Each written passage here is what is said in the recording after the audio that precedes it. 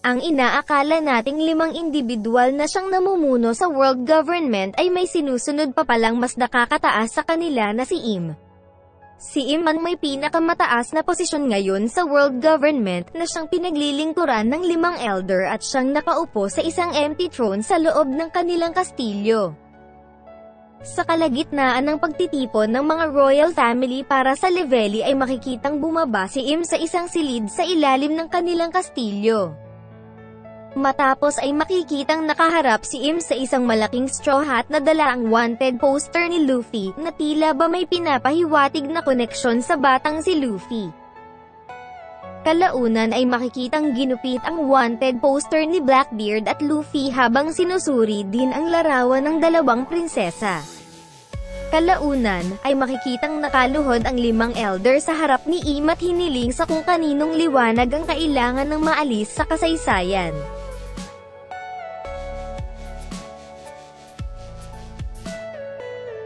Ang world government ang pinakamakapangyarihan ngayon sa mundo na kahit ang isang emperor ay magdadalawang isip na humamon sa kanila sa isang digmaan.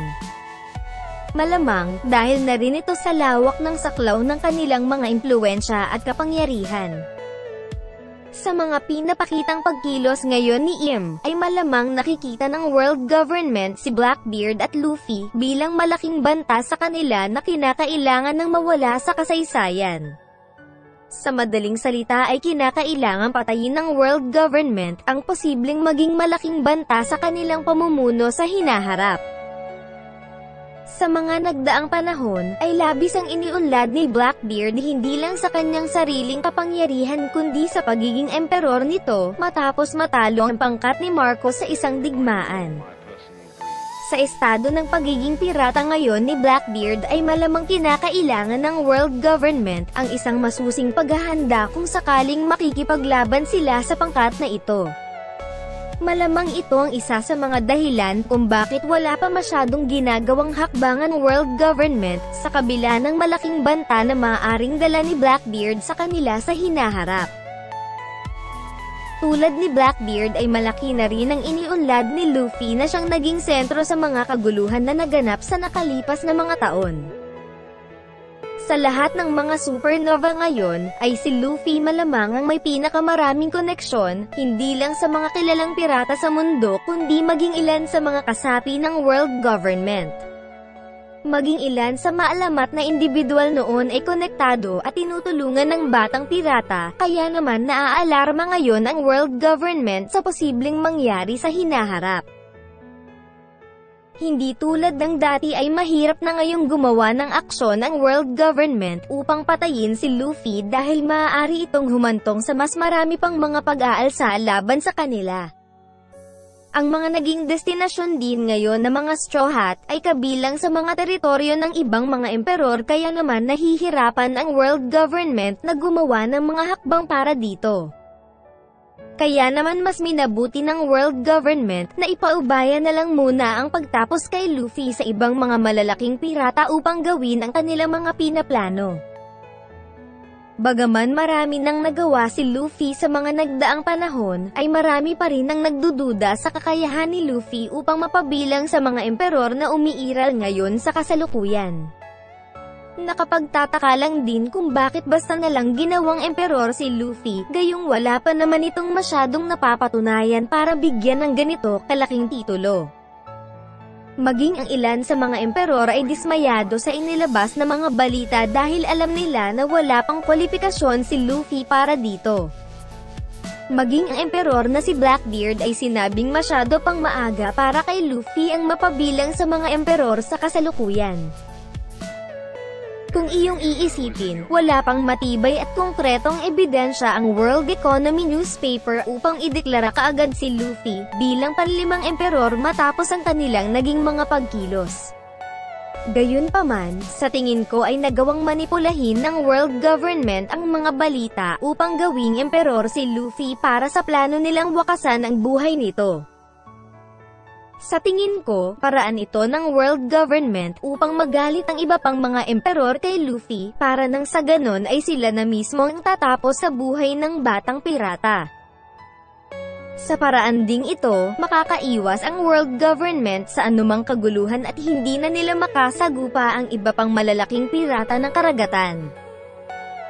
Marahil sa kabila ng nakikitang banta ng world government kay Luffy ay wala pa silang masyadong ginagawa upang tapusin ito dahil inaasahan nilang si Big Mom o si Kaido ang gagawa nito para sa kanila.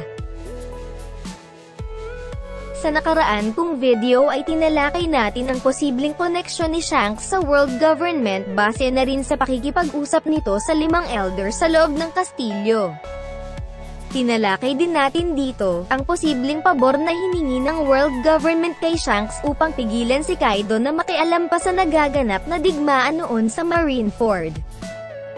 Si Shanks ay nakipagkasundo sa world government na susuporta sa kanila kung sakaling magsagawa ng isang malaking digmaan ng iba pang mga emperor sa hinaharap.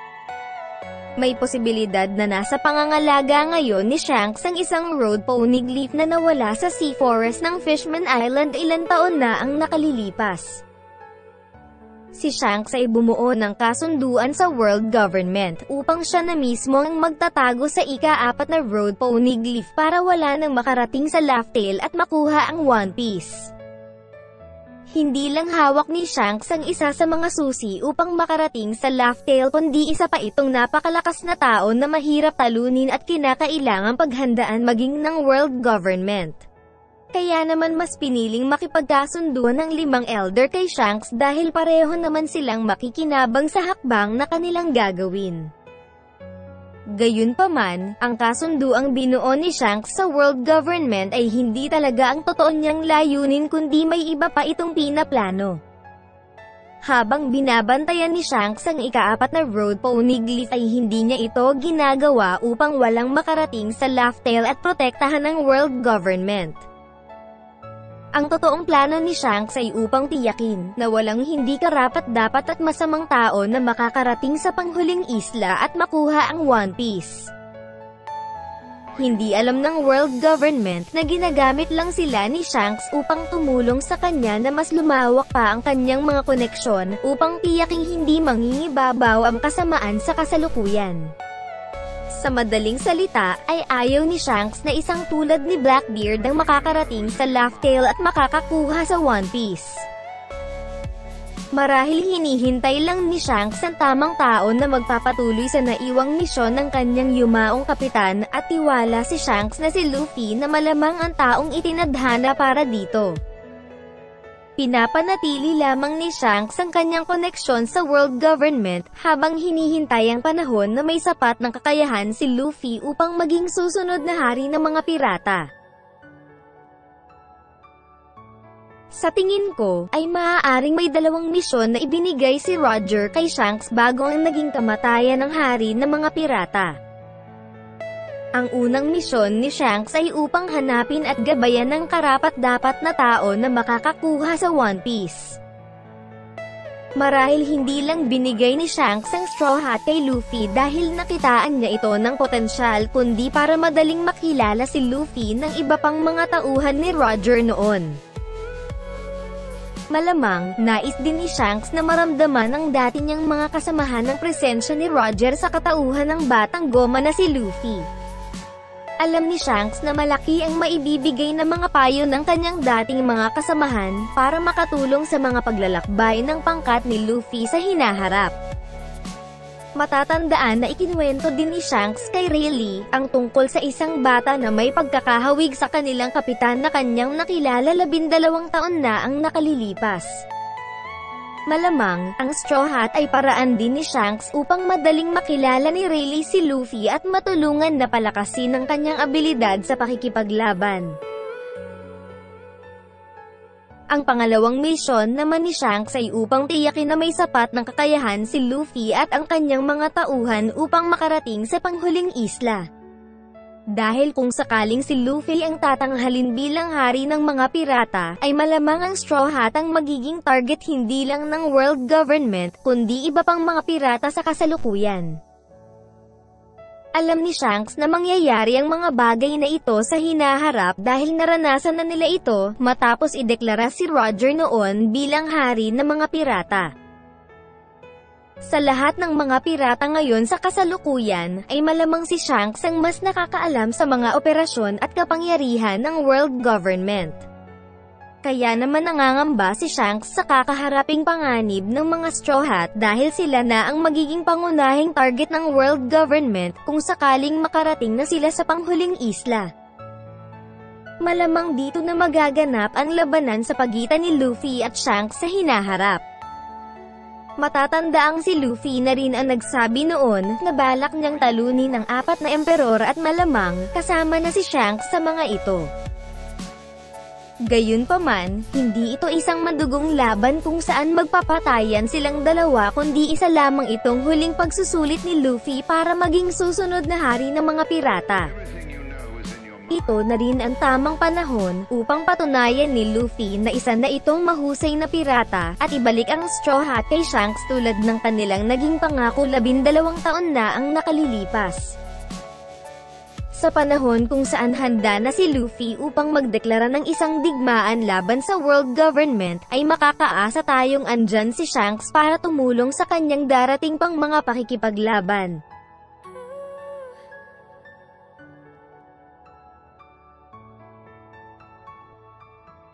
Shout out po sa mga nagpapa-shout out at muli ay maraming salamat po sa inyong mga suporta.